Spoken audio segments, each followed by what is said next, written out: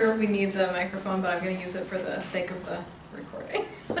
um, all right, so good evening. My name is Rose Tomassi. On behalf of Crossroads Cultural Center, I would like to welcome you to this evening's event, An Education That Nurtures Freedom. What is the goal of schooling? Uh, as a teacher myself and a person with a deep-seated love of learning, I have found uh, myself extremely provoked to ask this question since I began teaching freshman composition classes at City College several years ago. Well, I had come to take for granted that learning was something worth pursuing for its own sake, I came to see, especially when I transitioned to working in a high school two years ago, that this is not a commonly held idea.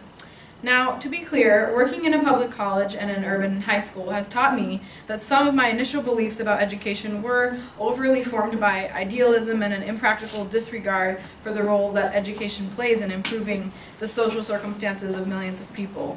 Nonetheless, I came to see over time that these practical concerns um, often come to overwhelm any deeper questions about the nature and purpose of education. So with this in mind, I began to ask again what should be our goal in educating human beings. We frequently hear about quote unquote preparation for the future and college and career readiness, but is there an overarching purpose that can offer unity to an educational endeavor and guide us in our work as we develop curricula, practice pedagogy, and enter into the day-to-day -day life of learning and schooling? In order to consider these questions, I think that we need to understand more deeply what kind of things human beings are. So tonight we have invited Margarita Mooney from Princeton Theological Seminary and Roosevelt Montas from Columbia University to share their thoughts regarding what education looks like when it is conceived of as the context in which the freedom of a human being is drawn out, nurtured, and allowed to develop and flourish. Margarita Mooney is an associate professor of congregational studies at Princeton Theological Seminary and the founder and executive director of Scala Foundation. At Princeton, she teaches classes on philosophy of social science, research methods, religion and resilience, and sociology of religion. She received her BA in psychology from Yale University and her MA and PhD in sociology from Princeton University. Prior to returning to Princeton in 2016, she held faculty positions at the University of North Carolina and Yale University. Her research, which has been funded by more than $3 million in external research grants from the John Templeton Foundation, lies at the intersection of social sciences, moral philosophy, and practical theology. Her first book, Faith Makes Us Live, Surviving and Thriving in the Haitian Diaspora, explores how religious beliefs and practices contribute to the resilience of Haitian immigrants in Miami, Montreal, and Paris. Based on research she did with young adults across the United States, she has written articles on the suffering and resilience of people who have experienced trauma. Her work has been featured in online journals such as Public Discourse, Real Clear Policy, and Church Life Journal. Through Scala Foundation, Professor Mooney organizes reading groups, seminars, and conferences on classical liberal arts education. Mooney's work on the importance of beauty to all fields of education, including engineering, was featured in the online blog of Scientific American. Roosevelt Montas was born in the Dominican Republic and moved to New York as a teenager. He attended public schools in Queens and was admitted to Columbia College in 1991 through its opportunity programs. He graduated from Columbia in 1995 with a major in comparative literature. In 2003, he completed a PhD in English, also at Columbia, where he began teaching in the faculty of the English department in 2004. In 2008, he was appointed Associate Dean of Academic Affairs and Director of the Center for the core curriculum at Columbia College. After 10 years, he stepped down from his role as director to take on a position as senior lecturer in the Department of English and Comparative Literature in Columbia Center for American Studies. Montas specializes in antebellum American literature and culture, with a particular interest in American national identity. His dissertation, Rethinking America, won Columbia University's 2004 Bancroft Award. In 2000, he received the Presidential Award for Outstanding Teaching by a graduate student, and in 2008, he received the Dominican Republic's National Youth Prize. Montas speaks and writes on the history, meaning, and the future of liberal education, and is writing a book for Princeton University Press about his experiences as a student and teacher. So without further ado, I will welcome Professor Montas to speak first. We've decided that that is the order that makes the most sense. Um, so here you go. Thank you. Should I take some? Okay. Now that microphone was going in and out. Yeah, don't use it. Don't use it, Yeah, okay. okay. I think I can speak loudly enough. Uh, thanks everyone for coming out on this Friday evening. There are other things that could be done on a Friday evening. Um, thank you, Rose, for your very kind introduction, and it's an honor for me to share this this table with my dear friend Margarita Mooney, um, who is a, as many of you must already know, a powerhouse and a force of nature. Um, so, an education that nurtures freedom. What is the goal of schooling? I want to start by reading a quote from Plato. This is from Plato's Republic. Education isn't what some people declare it to be, namely putting knowledge into souls that lack it, like putting sight into blind eyes. But our present discussion, on the other hand, shows that the power to learn is present in everyone's soul and that the instrument with which each learns is like an eye that cannot be turned from darkness to light without turning the whole body. Then education is the craft concerned with doing this very thing, this turning around, and with how the soul can most easily and effectively be made to do it. It isn't the craft of putting sight into the soul. Education takes for granted that sight is there but that it isn't turned the right way or looking where it ought to look and tries to redirect it appropriately. I think that this analogy of um, eyesight is very illuminating. The mind is constituted in such a way that it cannot help but assent to truth. When the mind encounters a truth, it can't resist accepting it. It literally cannot. It's like the eye. If it's open, it cannot help but see. It cannot decide not to see. So the human mind is like an eye looking, and when it encounters truth, it cannot help but see it. That's why Plato speaks here about a turning around, a redirection of capacities that are inherent in the human soul. Something of this insight is captured in the very word we have to describe what we are all here to think about the word education. It's very useful to understand the history of words. Education comes from the Latin verb educere, which means to draw out, or to bring out, or to lead out. Education, true education, concerns the tapping of innate capacities that each of us carry inside of us. Plato's teacher, Socrates, had a famous doctrine which declared that all knowledge is recollection. When we learn something, Socrates argued, we are only becoming aware of what we already knew. So that no one can really teach anything in the strict sense. All they can do is turn your intellectual eyesight in the right direction, and then you see. In his Divinity School Address, Ralph Waldo Emerson put the same insight this way Truly speaking, it is not instruction, but provocation that I can receive from another soul. Let me illustrate. Take the simple mathematical proposition 2 plus 3 equals 5. We all know that. And that knowledge illustrates perfectly two points implied in Plato's analogy of the eye.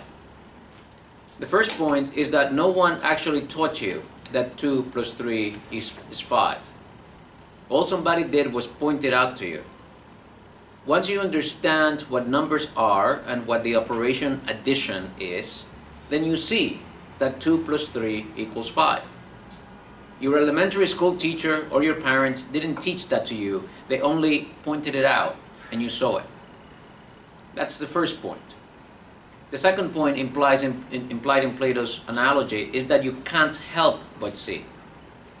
Nobody can truly deny that 2 plus 3 equals 5. You just can't. You can close your eyes and shake your head and repeat like an incantation 2 plus 3 is not 5. You can be stubborn and insist on it verbally, even swear by it, but you can't believe it. The mind cannot help but assent to truth. So, education that nurtures freedom, the title of our, of our panel tonight, takes these insights as axiomatic. It turns your intellectual eyes towards your own innate capacities. It is a practice of self examination, of looking into yourself under the provocation of various prompts that make what I call a liberal curriculum. Here's a quote from another oldie, Aristotle. It is evident then that there is a certain kind of education that children must be given not because it is useful or necessary, but because it is noble and suitable for a free person. That's from Aristotle's Politics. This notion that there is a kind of education that is given not because it is useful, but because it is suitable and noble for a free person brings up the issue of freedom.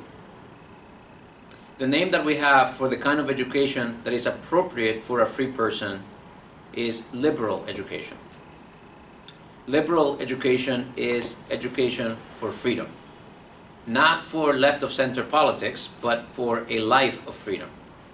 A life that is lived not out of compulsion, coercion, or necessity, but a life that expresses the character of autonomy and freedom that is characteristic of the human state.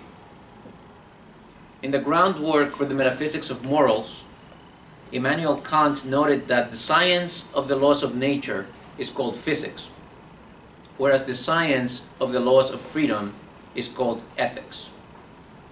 This is quite intuitive for us. Only those actions that are undertaken freely can express a moral quality. If I am forced or compelled to act ethically, the action lacks any moral worth. You know, if you imagine, you know, you, you're walking down the street and you see, say, uh, a person that's having trouble crossing the street, yeah, maybe they have some physical disability or something, old, for whatever reason, and then somebody who's like obviously in a rush stops, helps this person across the street, and then resumes their journey, you would see that and take that to be an action that has a moral quality to it, an ethical value.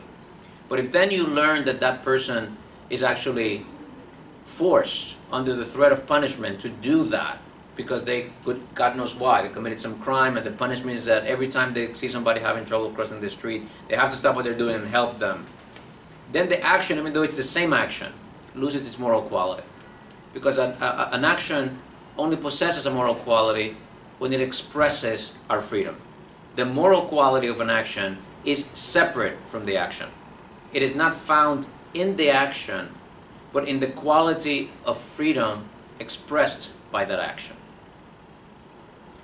I find the life story of Frederick Douglass to be one of the most inspiring and illustrative examples of the meaning of education for freedom. I've had this semester the great pleasure of teaching a seminar on Frederick Douglass. It has been just an extraordinary ride. Here's a passage from Frederick Douglass's first autobiography, The Narrative of the Life of an American Slave. Very soon, so Frederick Douglass was uh, born a slave in a, in a plantation in Maryland, and when he was a, a boy of eight or so, he was sent to live in the house of the brother of his legal owner in Baltimore. Um, Thomas Auld and his wife, Sophia Auld. So this is Frederick Douglass talking about uh, being eight years old and arriving in Baltimore to be the child companion of a young son of this, of this couple.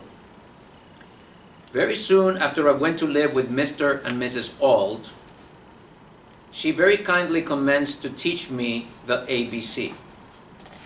After I had learned this, she assisted me in learning to spell words of three or four letters. Just at this point of my progress, Mr. Auld found out what was going on and at once forbade Mrs. Auld to instruct me further, telling her, among other things, that it was unlawful as well as unsafe to teach a slave to read. To use his own words further, he said, If you give a nigger an inch, he will take an ell. That, that expression, to give an inch, take an ell, today we have a similar expression is you give an inch and take a mile. So an ell is like this whole side of a house. A nigger should know nothing but to obey his master, to do as he is told to do. Learning would spoil the best nigger in the world.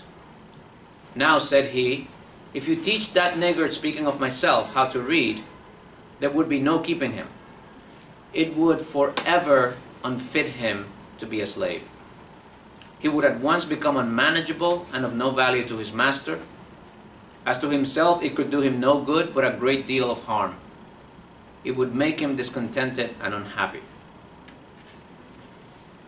These words sank deep into my heart, stirred up sentiments that lay slumbering and called into existence a new train of thought.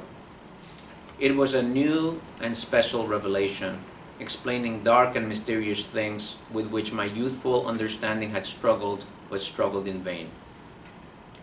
I now understood what had been to me a most perplexing difficulty, to wit, the white man's power to enslave the black man.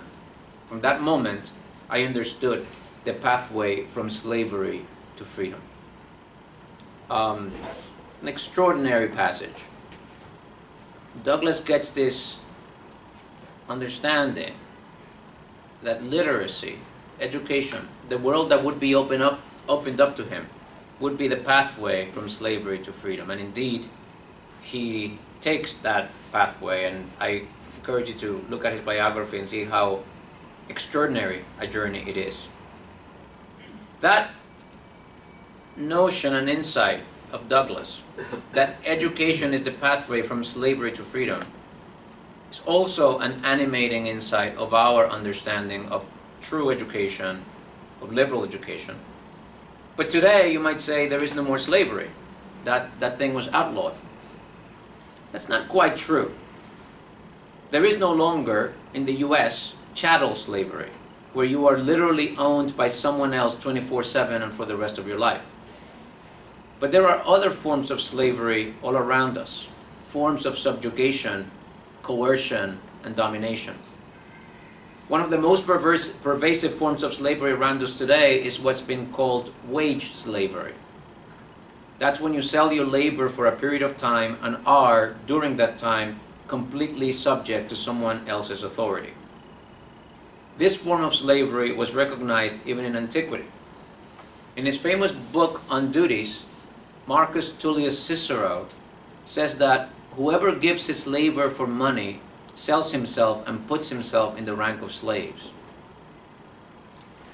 It's almost taken for granted today that this is okay, that it's some kind of life to sell yourself to servitude and dehumanization from Monday to Friday in order to buy the privilege of living on the weekends. But it's not so. This is not the worthiest life for a human being. There is little dignity in that, and on the contrary, a degrading brutalization of human freedom. So it's not right that education should just be about preparing to sell some portion of your humanity for wages. Yes, of course, education should give you skills and competencies that should help you make a living. But there is also a higher calling for education. Education should also be about how to be free about how to live the life of a free individual, not just the life of a hired laborer. As W.E.B. Du Bois would put it, the true college will ever have one goal not to earn meat, but to know the end and aim of the meat which life nourishes. Of the life which meat nourishes. In the politics, again, Aristotle makes a relevant point. He says, a complete community comes to be for the sake of living, but it remains in existence for the sake of living well. Aristotle's insight here is quite crucial. While survival and sustenance are at bottom the reason why we live together, any well organized society will overcome the threat of extinction quite quickly. once the necessaries of survival are assured, the questions of living shift fundamentally, and we begin to concern ourselves not just with survival, but with existence. How do we live well? What kind of knowledge best guides life? What do we do when most of our physical and mental energy doesn't go to just surviving? Here's Cicero again. The search for truth and its investigation are, above all, peculiar to man. Therefore, when we are free from necessary business and other concerns, we are eager to see and to hear or to learn, considering that the discovery of obscure and wonderful things is necessary for a blessed life. I love that, that the discovery of obscure or wonderful things is necessary for a blessed life. Did you know that the Greek word skole, from which we get the word school, means leisure, having nothing to do? School is not supposed to be about work, but about what you do when you don't have to work. And you know what you do when you don't have to work? You delight in the discovery of obscure or wonderful things. Thank you, Cicero. I'm going to end with another kind of longish quote, and I probably won't comment on it, but um, it, it, it puts, a, I think, a very bright focus on what the point of education should be. Um, it's a quote from the Buddha, the historical Buddha. It comes from the Pali Canon, the oldest collection of teachings from the Buddha. The Buddha is, uh, in this quote, talking to one of his uh, supporters slash disciples, a, a local king. So the Buddha says, What do you think, great king? Suppose a man, trustworthy and reliable, were to come to you from the east, and on arrival would say, If it please your majesty, you should know that I come from the east. There I saw a great mountain as high as the clouds coming this way, crushing all living beings in its path. Do whatever you think should be done. Then a second man were to come to you from the west, and would say, If you please your majesty, you should know that I come from the west. There I saw a great mountain as high as the clouds coming this way, crushing all living things in its path. Do whatever you think should be done. Then a third man would come to you from the north and say, If it please your majesty, you should come that I you should know that I come from the north. There I saw a great mountain as high as the clouds coming this way, crushing all living beings. Do whatever you think should be done. Then a fourth man will come to you from the south, and on arrival he would say, If it please your majesty, you should know that I come from the south. There I saw a great mountain as high as the clouds coming this way, crushing all living beings.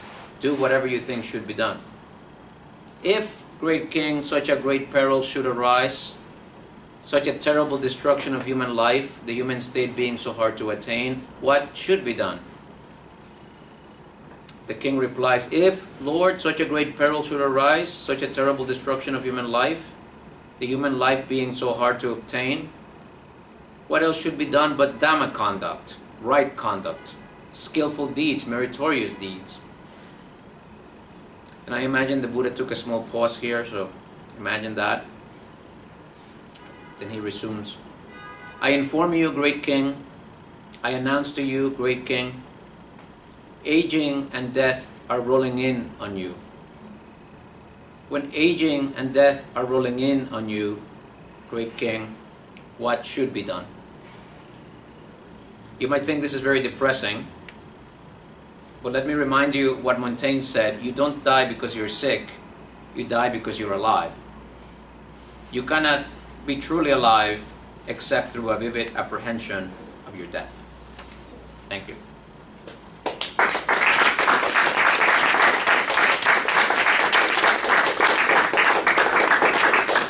On that cheery thought, I pass it on to Margarita. Well. Well, it's a great pleasure to be here tonight and talk about this subject of the end of education because although I've spent really most of my entire life either as a student or a teacher, it wasn't really until a few years ago that I began to really look into this question of education. Uh, what is the end of education? And what, what really got me to think hard about this question was when I moved from my first job as a professor at the University of North Carolina. I was there for six years. Then I moved back to my own alma mater of Yale, and I really wanted to live in one of the residential colleges with students and thought it would be fun. And it was fun, but I also began to see for the first time what really goes on in student life, and there were some real serious problems around mental illness. Um, there were some lot more heavy drug abuse than when I had been a student at Yale, which made me wonder what was going on. And then beyond that, even the students who weren't necessarily struggling with mental illness or drug abuse were really asking very deep questions about their own personal identity and how that relates to what they were learning.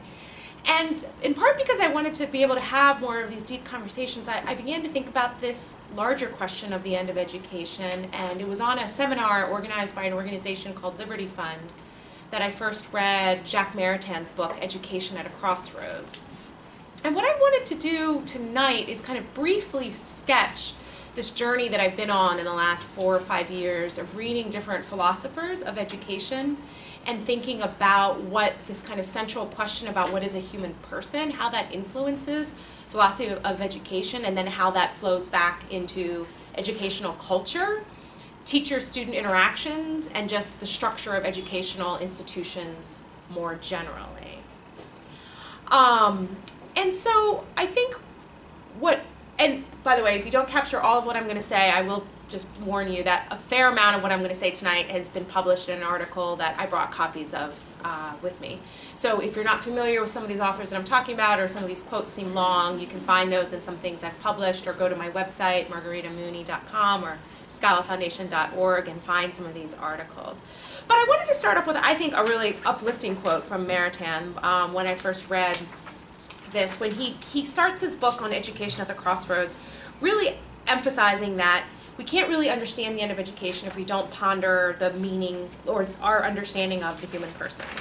Um, of course, my version with my notes in it isn't here, so let me find Maritain for a second.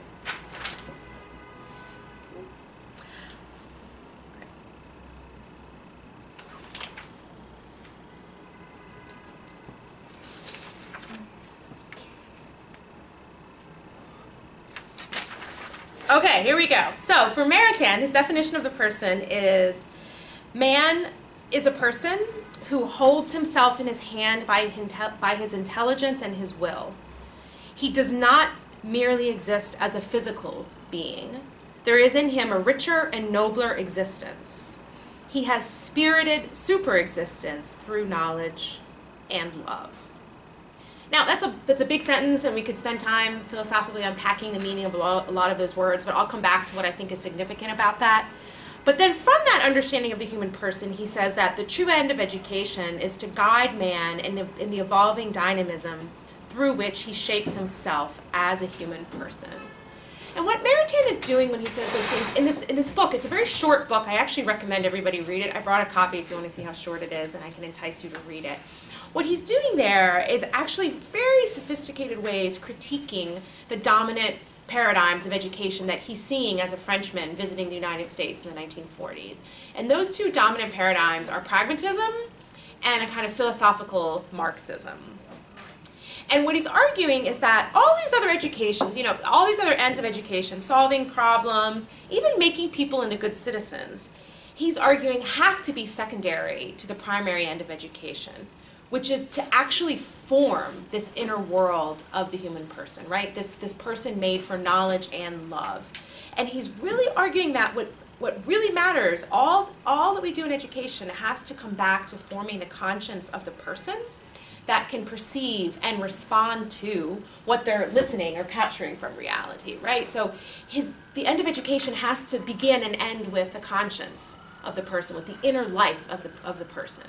Now, what I try to do in this article, and what I'm going to try to do briefly tonight, is sketch how, in some other theories of education, it sounds like that's what they're talking about, but if you don't really understand sort of some of the assumptions behind words like dialogue or problem solving, you might think they're actually referring to this inner life of the person as Maritain means it, but they're oftentimes not.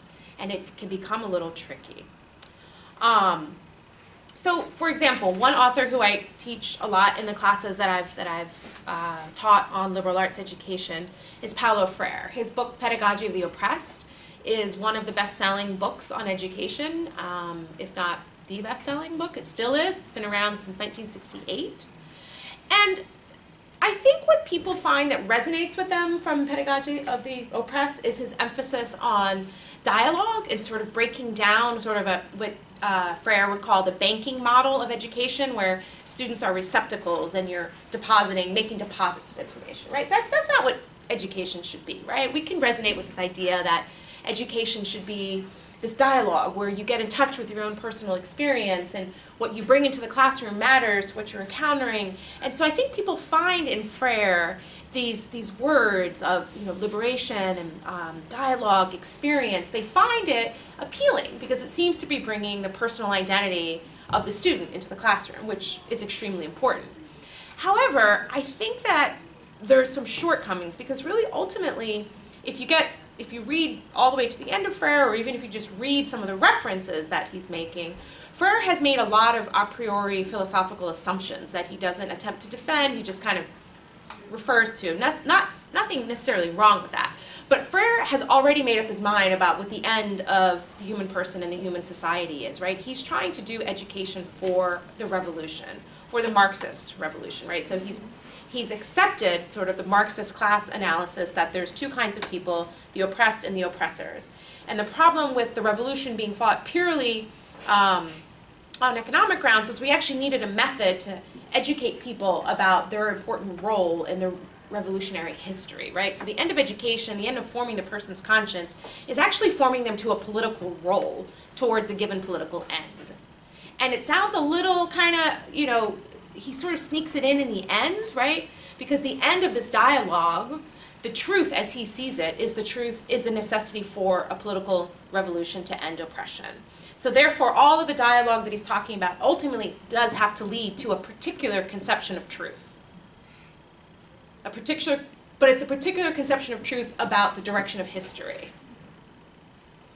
And it's a particular conception of truth about the direction of history that ultimately doesn't hold to what Maritain understands as the person having a soul in direct that's capable of directly relating to a supernatural being, God, right? So when Maritain said the person has a super existence of love, he's actually referring to the relationship between the person and the creator. And that for Maritain is more important than the relationship between the person and their place in history or their place in a social order. So what Maritain is actually concerned about is that even if we're concerned about the direction of politics or the direction of government that's not more important than the person coming to know himself as a creature created by God. And that in fact, what Maritain is warning is that concerns about um, uh, political problems, as important as those concerns may be, cannot overtake the formation of the inner conscience of the person. Because then education can become a tool to actually, and Maritain says this, it's very interesting, he says this later in his book it's easier to deform character than it is to form it. So Maritain is extremely concerned about education being used to supposedly form character according to the image of the institution, right? He's really focusing on the person having this relationship to the creator God. Which doesn't mean, as Maritain says, that you don't also educate the person to understand what's going on in the social world or what's going on in politics. It's not that you want them to somehow be ignorant of what's going on in politics or society, but that the individual can never be reduced to an historical social role. And that's an important distinction. It may sound, if you have questions about that, we can come back to that.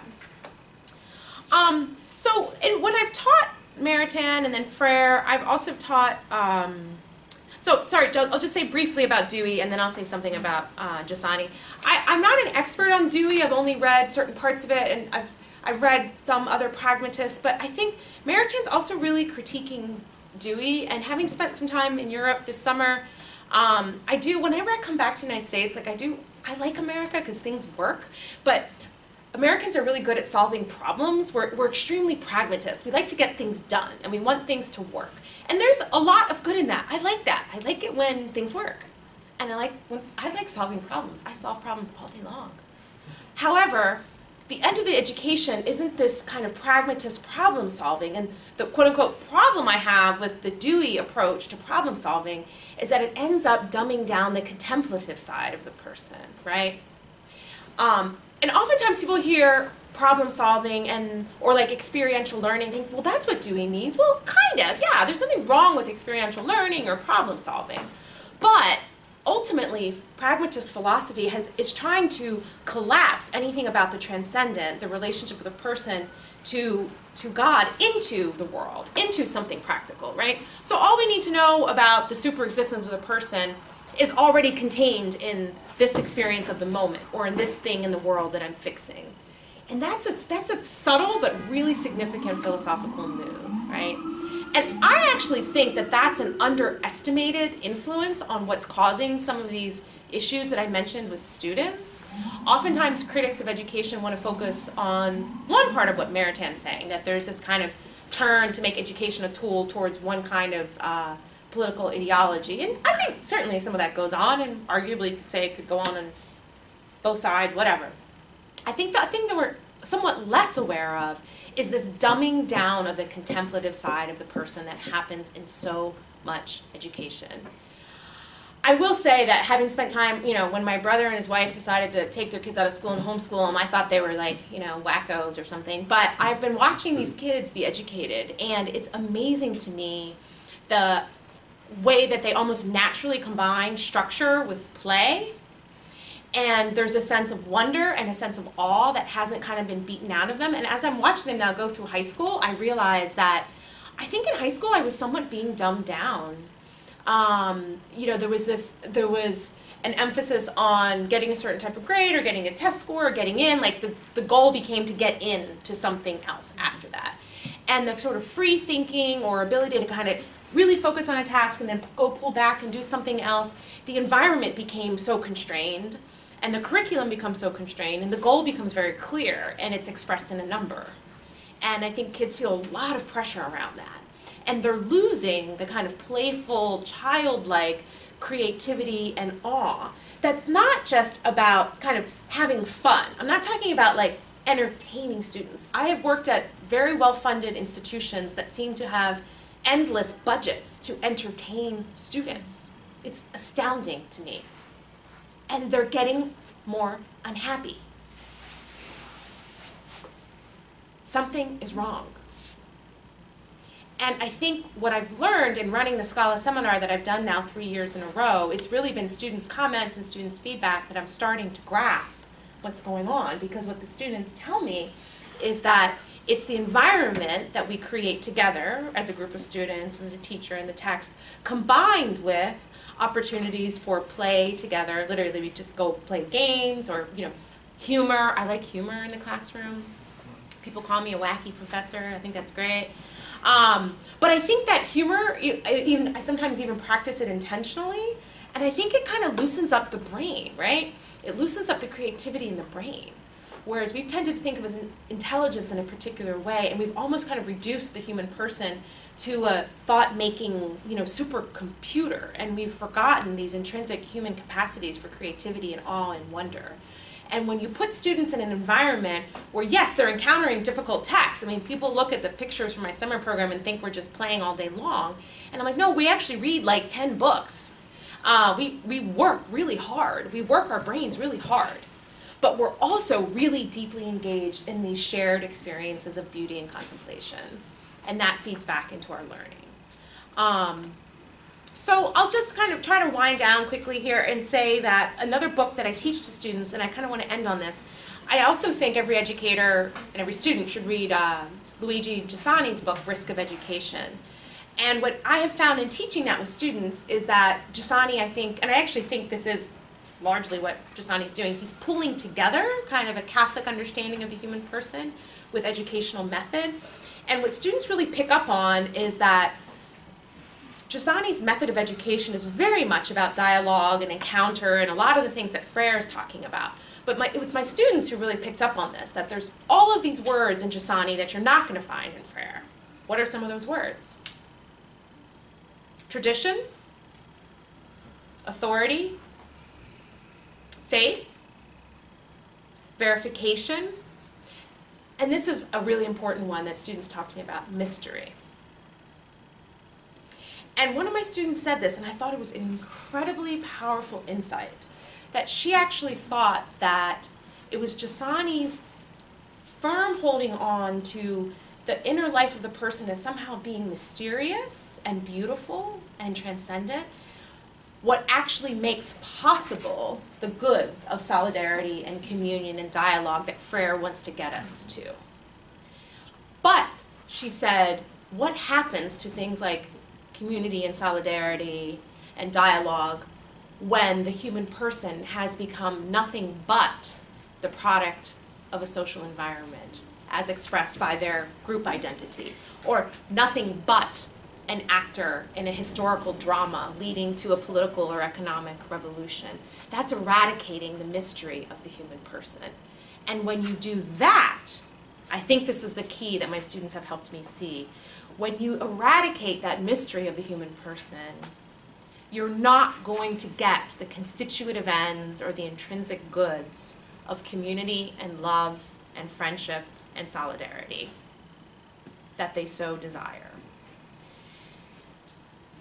As I said, if each person can be, if, if the inner life of a person is nothing more than an expression of a social context or a historical dialectic, or if the inner life of the person is exactly the same as what they do in the world, then we're going to end up with a kind of dumbed down pragmatism or soft totalitarianism that tells everybody to behave in a certain way, to play a certain role, or how to function well at a certain social, in a, in a certain social responsibility. So I think one of the major problems that I'm trying to understand today in education is to go back to what I was saying before, how to help how do we help as parents, educators, workers, whatever we are, help young people form a coherent personal identity that's going to help guide them through their education, regardless of what field that is. So many students that I work with really lack a sense of belonging or vocation. And frankly, you know, the most heartwarming thing students have ever said to me is that I've both helped them shape how they think about a particular subject but that they feel like they can come and simply talk sometimes when they have questions about life that sometimes really don't have answers and require being able to sit with them in the mystery. Like a student who both who lost both his, his mother and his father during graduate school or my student john who i talked to in the hospital as he was dying of cancer at 26 and there's no nice coherent type philosophical frankly or theological answer to someone who's going through this kind of suffering but there is an ability to open your mind and your heart to face some of these ultimate questions um, that is in a way that integrates our human capacity for knowledge and for love, for knowing and for and for being. So I will I will end there, but I know Rose has some really great questions, and I think what I hope we get to in the questions is I've given a lot of thought, as you can tell, to sort of the cultural and the personal elements of the crisis of education, but I think what does it mean to take these ideas that we've talked about and have them actually impact the structures of education is not entirely, I'm not entirely clear how to, how to do that, but I do think that we need to both think about shifting educational culture and shifting the way that educational institutions work and not think that, oh, if we just change educational culture, institutions are going to follow, nor vice versa. If we just get the institutions right, then we don't have to worry about educational culture. I think we need serious thinking about both of those two things. Thank you.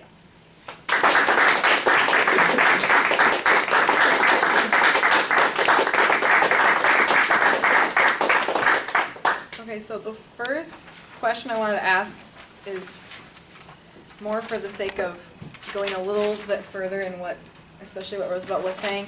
Um, I'm wondering if you could describe briefly what, in a practical sense, sorry, but just for the practical down to earth sense, what would a authentic liberal arts approach look like uh, in terms of something like curriculum or even like the pedagogical uh, method of a teacher. But I, I for me, I especially wonder, like in terms of the curriculum, what, what does it actually look like for you, in your opinion? Um, should I go first? Sure.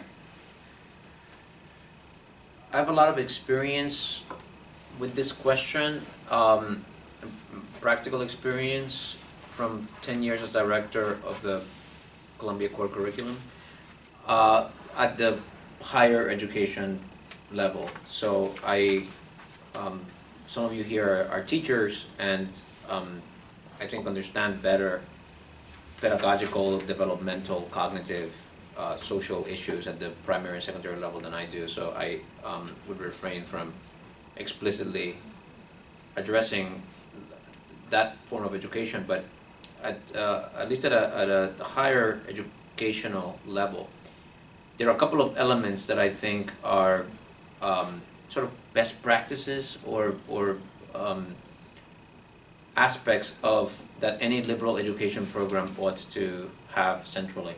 So one of them is that a liberal education can only be delivered in a kind of artisanal way. You cannot mass produce liberal education. Liberal education, at the center of the project of liberal education, is not the subject matter, is not the skills or the, or, or the knowledge or the information that's being transmitted. At the center of a liberal education project is the student's development. Um, and this is one of the reasons why liberal education is done poorly today, even in higher education, because higher education is dominated by disciplines. And liberal education today is mostly taught as introduction to disciplinary study. Uh, so if you take a literature class that's supposedly part of liberal education, in fact, you're just being taught like how to be a graduate student in literature. Um, the project of liberal education has the student's development at its center rather than the discipline or the knowledge to be transmitted. Uh, another aspect is that it's got to be conversational. It has to be interactive. The student learns by a process, by an organic process of conversation, exchange, and dialogue with the teacher and with others. Um, so it's got conversation has to be at the center, which also means that it uh, can only be done in small groups. You cannot have a, a liberal liberal education program with very large classes. You have to be able to contain the groups in such a way that there is um, uh, exchange.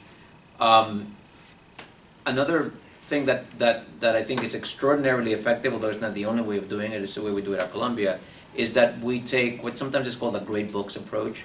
That is, we um,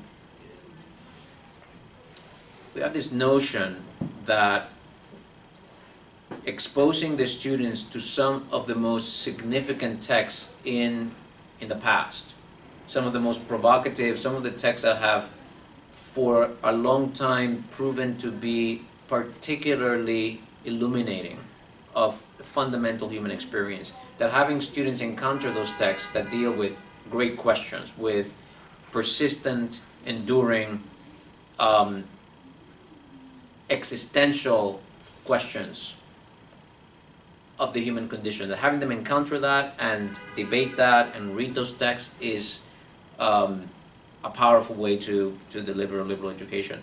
Um, one last thing that, that, that we do on the, on practical end at Columbia is that we emphasize commonality of intellectual experience. That is, Columbia has this very peculiar approach where the whole freshman class is reading the same books at the same time for the entire year.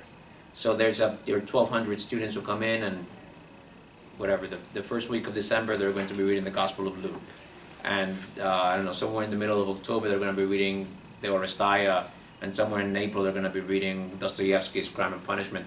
The whole 1,200 students in small groups, right? Um, and they do the same thing as sophomores. They take another year-long course, do this uh, that, that follows the common curriculum. That um, has a very very powerful impact um, in creating community and cre- creating dialogue um, and in linking students to a broader, a broader, larger project. And also with having faculty move away from just their disciplinary specialty and teach in this, in this common, common project. So those are some kind of practical ingredients that I think um, uh, go into making a powerful, transformative liberal education. They I think, have their analogs and their adaptations for um, primary and secondary school. Yeah. Yeah, I would just add, and this might jump into one of your other questions you sent in advance. I mean, I would just add, I have had a lot of conversations with people running classical schools at the K to 12 level, and in some ways, what should be in the curriculum isn't a very huge debate. I mean, there's the kind of the great books curriculums. I'd say there's kind of one model, which is the great books kind of at a high school Right. level. But then there's also the quadrivium and the trivium, the sort of, mm-hmm. you know, historic. And so I think that's kind of the core of what goes on in the K to 12 level from a classical liberal arts. And I think what what I think really I find exciting when I actually visit these schools, I visited a number of these independent schools that are popping up doing this. Um, it seems to me that some of the commonalities that really seem to work, some kind of emphasis on great texts, because then you get people debating and talking and this kind of interactive. But also, I've, I've in, interestingly, I found a lot of these independent schools are really emphasizing natural science and mathematics as well, but bringing back this kind of sense of awe and creativity and kind of a hands-on. But under teaching, educating students to really encounter the created order is extremely important. And I think great books curriculums won't quite get you that, right?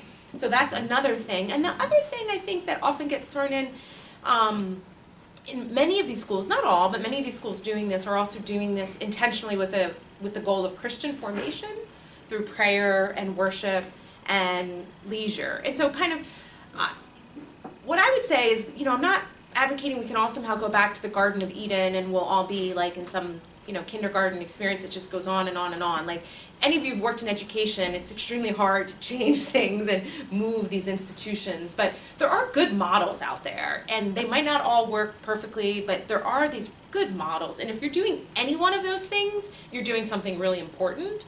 If you can pull all of them together, I think you can really blow students' minds. But the other thing, and this is where my thinking is starting to go, is about what does it mean to actually educate the aesthetic dimension of the human person as something related to, but also distinct from formation for proper religious ends, right? What does it mean to actually educate the aesthetic dimension of the person in general? What does it mean to kind of bring out students' creativity and wonder and help students make the connection between the ascent to truth and kind of experience of beauty and the desire for goodness? Um, aesthetics, for a variety of reasons, kind of almost got taken over by postmodern philosophy, and so there's not been a lot of serious thinking on aesthetics in philosophy or theology, but it's starting to come back. I, so I see kind of this both this high level rethinking of the aesthetic dimension of the human person that's going on in the scholar level, still kind of small, alongside these really interesting experiments to bring aesthetics back into education, and I think that's a great that's a great dialogue to have. Part of the problem with with what's happening, I think, in higher ed, we were talking about um, bef- earlier today, is that when it comes to kind of getting a bunch of faculty, especially in a secular university, to agree that one of the ends of higher education is the formation of a person towards particular ends, I think most faculty kind of recoil at that because it feels like they would be using their conception of what that end is to impose on the students. And most faculty no longer feel as if they're speaking from a coherent tradition that agrees on what the ends of the human person is. So even if you have individual faculty members who might have this vision of formation, they're at the university level, they're very hesitant to, to speak or to act from that place. Thank you so much. Um, okay, so I have another, another down to earth sort of question, but this one I, I, I understand if you, if you feel like it's out of your comfort zone, so please feel free to just not say anything if, it, if you don't want to, but, um, this is coming from my own experience as a, as a high school teacher. I'm wondering if you think that there is any way that a truly human education is possible within current institutional structures that most kids end up in, at least in this city, which are like pretty crappy public schools. No offense. I mean, I it's a good idea, but um, and then like uh, you know, and then there's like a bunch of new charter schools that are popping up all, over the place that have pretty much all the same general model of you know strict discipline and passing the state test. So I'm wondering if you think there's any way, like you know, that it's possible to sort of crack through in those environments. Uh, I have to say yes. I have to say that it is possible because otherwise, um, we should all just quit and go home. Um, know, have a couple of drinks and numb ourselves. Um, I have to say yes, but as I, I, I use this phrase when we're, we're having dinner, um, just before everybody had arrived, I think it was just three of us maybe we were, that we were, um, talking that I'm a product of the New York City public school system. I went to my local middle school and local high school, and you know the one that I was zoned for, not without any deliberation or any kind of special program. Uh, I, I made it out uh, alive and um, merely scarred. Um, but I think that the, the, the New York City public school system and, and large urban systems of public education, uh, the phrase that I used was was failure by design. Um, they just any rational like if you saw them described in a in a in a catalog, like if you're a Martian and you just saw like this is what the schooling is, you're gonna say, yeah, that's gonna fail. That's gonna fail most people. That is going to uh, that is that that is not going to as a system be successful. Um, I, I think many teachers work against the system. That is, many teachers succeed in changing lives, in um, countering the noxious effects of the institutional structures. Um, they, su- many teachers succeed, succeed at that. I would not have made it where I to where I have without some teachers that did what Plato said about reorienting you and making you look in the right direction. Um, so it is possible, but it is possible not because of the system in which the public school system, public schooling system, it, it is possible despite that system. I mean, I would just, two things I would say. I think the reason I mentioned earlier, I think the examples Roosevelt is giving is I think that there's incredible ways that people in New York City public schools or other similar public school systems are giving witness to the truths that we're talking about here tonight. To expect that to change, you know, the school board of New York City, I think is wrong, right? And I think a lot of teachers and people feel that they don't have a lot of power to influence larger structures, and they're kind of right. But at the same time, if a movement were to come along to change those structures, you would need the people in place who have the vision to do it. So it's kind of a question of calling. Like, I, I don't want people in a structure that doesn't support their vision of education to feel frustrated and leave. That would be terrible because you are doing amazing things. Um, and believe me, I'm one of those people who often wonders, you know, why can't I do more to affect the institutions? Um, but I would also just counter, I think, from what I see, because you know, working in these these elite schools, there are students coming in from the New York public school system into the schools where I've taught, but the vast majority of them are coming from dysfunctional suburban elite schools, to put it bluntly. Um, and so to say that, you know, New York City public schools are in trouble and like, you know, elite schools are not, I think is not correct. I think they might have different kinds of troubles. But the problems of loss of personal identity, the problems of nihilism, you know, drug abuse, mental illness, these are ravaging elite, wealthy schools. And just because their their parents are corporate lawyers and they drive nice cars and live in big houses, I don't think we should not care that education isn't serving them very well either. Thank you. Okay, I have one more question and then open up for everyone. Um, I'm uh, kind of along those lines, and this probably ties in quite a bit with Scala. Maybe you can say more about Scala in this. But what do you think is the, um, what role does friendship or companionship, in your opinion, play for um, for an educator and a student, um, or between students or between educators?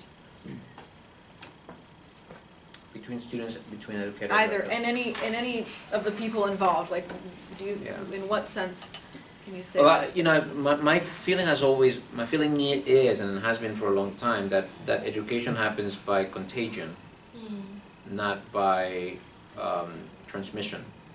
It's not, not, not by instruction, but, but it's something that kind of you kind of catch. Um, and, and that happens through an effective channel. Mm. That is, um, I have some experience teaching high school students, even though my, my main job is to teach college students. I, for many years, I've taught um, high school students every summer.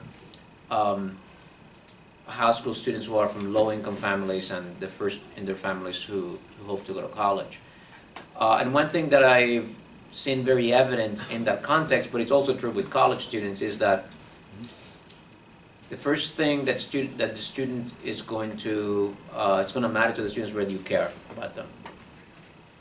That's ground zero. If you if, if the student does not get a sense that you care about them as an individual, um, game is over. Um, it is only on that basis, which is a basis of trust, affection, and human connection. Only that is the the conduit through which education happens, through this um, bond.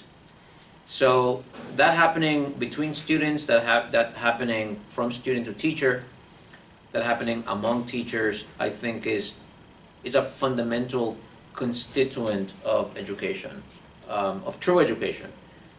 I'm talking about instruction and training. I mean, you can get a lot of instruction, a lot of training from watching YouTube videos, from just uh, online without any relationship at all.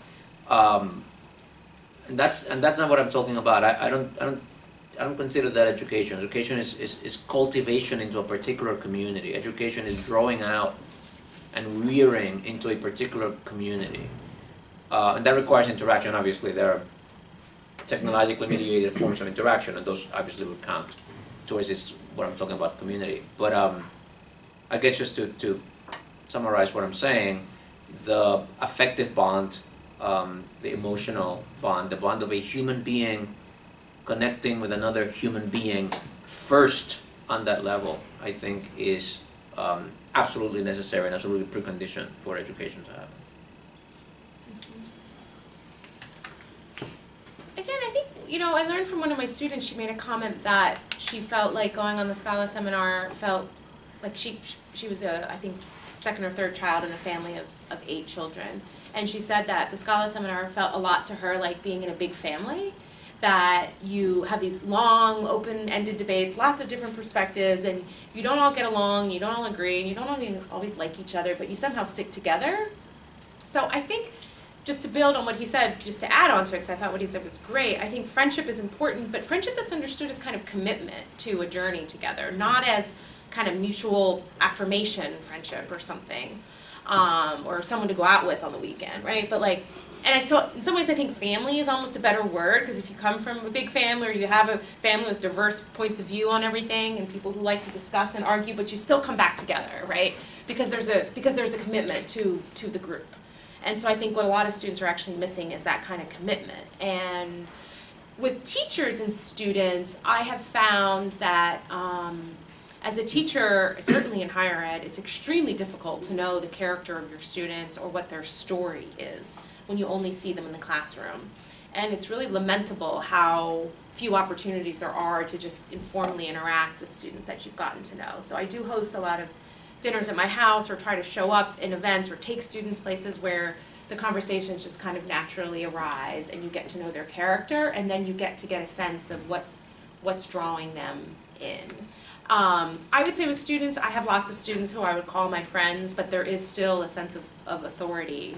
And I think to collapse that isn't necessarily the best thing because I think students are actually looking for kind of a authority figure friend. But importantly, if you're educating your children or depending what age group you're working in, I've seen a lot of parents get worried because frankly, you know, when your kids are little, they think you're an authority. And by the time they get to be teenagers or go off to college, their parents are kind of, even if they're great parents and have all the right things to say, their students in teenage years and college years are looking for a moral authority who's not their parent. And it's important for them to encounter those mm. people, and when they don't encounter anybody in their education or the classroom who they can look up to as a source of moral authority, I think it becomes really problematic. Um, because then they're not connecting what they're learning in the classroom or who they're learning from to a person who knows how to live a coherent life, who can guide them in their life. And students just love coming to the events I organize and getting to hear the story of a faculty member or just realizing that they are a human being who has kids and gets up at five in the morning or, you know, whatever. And it's just like, oh, wow, you know, this person is a person. So that personal relationship isn't about, you know, professors sharing everything with students or giving up their authority. It's about giving them a social context where the authority can actually be embedded in a journey towards a beautiful life. Thank you. Okay, so, any other questions? The Floor is open. Thank you. So, uh, Professor Mooney, you mentioned that um, this ideal of education as, a, as the formation of the, of, of the human person finds it's, it's difficult to find acceptance in university settings because um, um, college faculty is skeptical of sort of anyone trying to impose a conception of the human person or of the education on all of these educations, not to, uh, not on all of these educators, not to mention the students. I, I'm wondering what, what Professor Montás, you, what do you think about that? Based on your experience at the core, what should we do, or what do you think is the cause of this kind of? Yeah. Uh, I think that's a fundamentally true diagnosis. There has, the, the, what accounts for the lack of, or part of what accounts for the lack of a coherent approach to liberal education in colleges is, is the collapse of consensus among faculty on what students should learn. Um, however, a true liberal education does not impose even a view of human nature. What it enjoins us is a shared commitment to its investigation. Um, and, and, and I think the problem that Margarita was pointing to in Freire is the too facile assumption of we know the answer and we're just gonna work our way to the answer. Uh, we're just gonna lead the students to the answer. Um, the ultimate subject of inquiry in liberal education is, is the human good. Um, and it would not be the ultimate subject to inquiry if it were not an inherently contestable uh, notion. And it is precisely engaging in that inquiry that constitutes liberal education, not answering the question of what is the ultimate human good, but asking the question of what is the ultimate human good. Um, so we don't need, it is a red herring to say that we shouldn't do it because we can't agree on what the ultimate answer is. Mm. Just to add that briefly, I think that there's also a difference between agreeing that the question is important and that there is an answer and we need to debate it versus the kind of critical theory skepticism Yeah. that the question is ultimately unanswerable. Which is ultimately nihilism. Right. That's, Yeah. and I think some faculty are in each of the two camps. Some faculty are nihilists. Yes. Thank you. Okay, who else has a question? Um, okay, yes, go ahead. Um, Thank you very much, uh, really, really interesting content here. Um, One of the, the themes was around the, the student-teacher relationship and that being an important contributor to like a well-rounded dialogue in education. Um, With technology today, social media, cell phones, the lines are blurring and it's creating a lot of noise. An example is at a parochial school, the wrestling coach um, shared his, you know, admiration and, and love, expressed in just, you know, I, I love you as a, an a student athlete, a contributor to this community and team. And uh, it was used against him um, by that, that, athlete when he transferred out, and that It was used what? uh, used against the, Against, the, the uh-huh. teacher in terms Right. of it made the student uncomfortable two years later when he decided to leave the school. Um, so I'm just, you know, that it created a big commotion in the community in terms of that student-teacher relationship and what are the, what are the lines, what is the appropriate dialogue. Um, and, and this is a very popular teacher. Um, it was a very isolated case, but it went to courts. It mm-hmm. was front page papers. And so, yeah, you know, it, a lot of people were confused by that instance and what to make of it.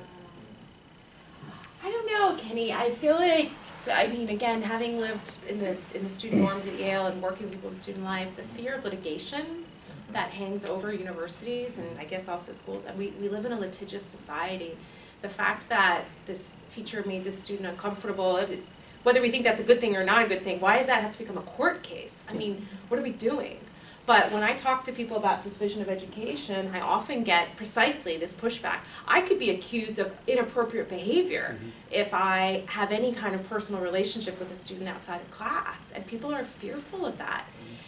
Um, so I, I don't know. I mean, obviously, there's a common sense about what's wrong to do, but then the idea that we should just retract and create a kind of hard shell around ourselves is just wrong. Yeah.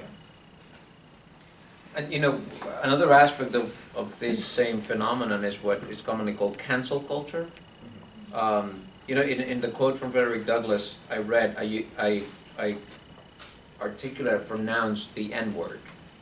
Um, because I'm reading Douglass who uses the N-word, and the person who uses the N-word in the Douglass quote is a slaveholder, his, his, his master.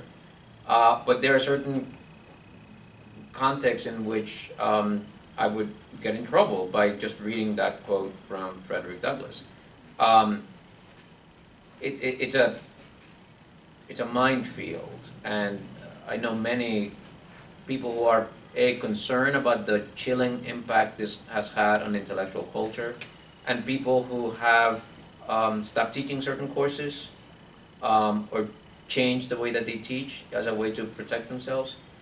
Um, I think that that's a mistake to do that. I think that, um, and again, I speak particularly with a, with a view to higher education, where it seems to me that part of the educational mission that we as faculty have is to navigate and teach the students, largely by example, how to navigate those waters. And that is an inherently risky, intellectually risky, and it requires intellectual courage, and it requires courage of, convictions. It requires also living a certain type of way. Um, that is a certain type of way that that you are uh, not impeachable in certain ways because of just the testimony of your life, the way that you live your life. Um, so, but I- I, think that we need to, as faculty members, be committed to a robust intellectual defense of freedom of expression, of inquiry, um, and use the controversies as moments to work through educational issues. That is, we need to educate our students, including in those things. Um, and withdrawing and retreating and muzzling ourselves is not the way to do it. It's a, it's, it's a kind of an application of our job. Um, thank you for your comments. Uh, so I work at a public charter school that is classically inspired, and recently we've this the administration has tried to shift some of the tradition or like this like heavy lifting onto the teachers to read more like great texts or um, things like like we read um, like a very very watered down version of the cave allegory from the Republic to talk about like what truth could be, and we had like a staff Socratic seminar, and it was, and something that I've noticed in my third year working at this school is that the teachers themselves are, don't have a sense of personal identity um, themselves as adults, and they're educating children who are one like you know maybe perhaps socially vulnerable and economically vulnerable, but also like on the epoch of this other like gen I don't know generation X Y Z whatever the next wave is. like I, I really thought about it and I my children had like were born the year the iPhone six was made. So that's just like a lot of context for like inter- the way they interact with reality now. Um, so I was just wondering if you have any experience like working with teachers who I don't think they're I, I don't think they're nihilists like they're definitely searching but they don't have they don't they themselves don't have the tools to um, like find that inner life in themselves or like for example like a, a comment that a teacher made in the seminar was we got to this point where she was like well you know whatever your grandma says like you don't really believe that truth anymore. Like it, it changes every every generation. Like she was she was saying that. And we like kind of arrived at this impasse with the staff and this like s- staff Socratic seminar like well if truth changes every generation like what are we supposed to do with our children? Um, so I, I'm not sure if the it didn't actually like the seminar was supposed to inspire the staff to like you know find grasping onto this onto truth, but because they themselves lack that compass, like it actually I think made them despair a little bit because they themselves were unsure about. Um, so sorry, that was kind of long, but I just wanted thoughts on that. I'd, love to hear what you have to say about this, but let me prom- prime you in this way. Um, the activity that we are engaged in of educating our students liberally or liberal education, and I'm, I know that that term liberal education sometimes has a specific meaning, but allow me to use it to describe the kind of education that we're talking about tonight. Um, is a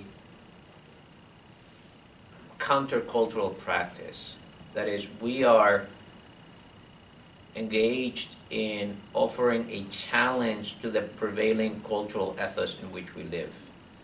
And what you get in our students, in our faculty, in our peers, in the faculty, in the in the in the, in the say, faculty culture, both at the higher education and at, at primary and secondary level, is a reflection of the contemporary ethos of uh, materialist, consumerist, almost nihilist in the in, in the uh, kind of epistemological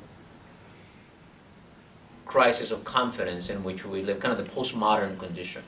That is the cultural tone against which we operate. Um, Socrates, who in, some ways I think is the paradigmatic figure in this project, was executed by his uh, city, was um, condemned to death by his peers for engaging in precisely an activity that was countercultural, um, that challenged. So um, I do think that we are, we, we, we,